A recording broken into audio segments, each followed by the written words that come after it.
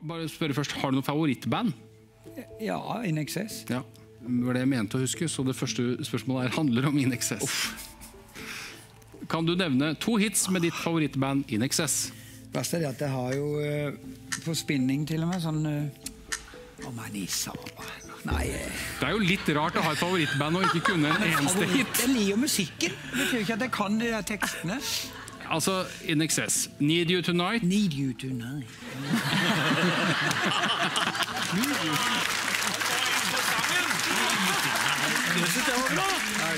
Og så har vi en låt som heter Never Tear Us Apart. Devil Inside, Mystify, New Sensation, Suicide Blonde.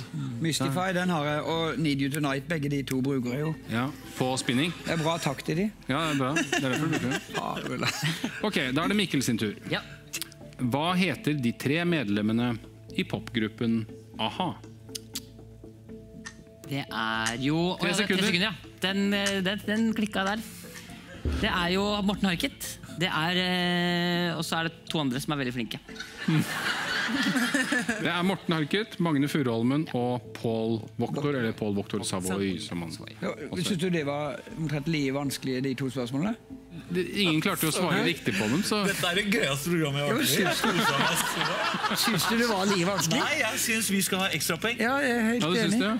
Jeg tror vi bare sier at eh, vi legger den ballen død. Sturla! Hva heter den spanske smørsangeren som allerede på 80-tallet hevdet å ha ligget med mer enn tre? Julio Iglesias. Det er helt riktig. Helen? Ja. Hvilket populært grungeband fra Seattle Ja. tok navnet sitt etter buddhismens endelige mål for livet her på jorden? Og Nirvana. Nirvana er riktig. Det var flaks. Eh, Dagotto? Dagotto? Ja, det er deg.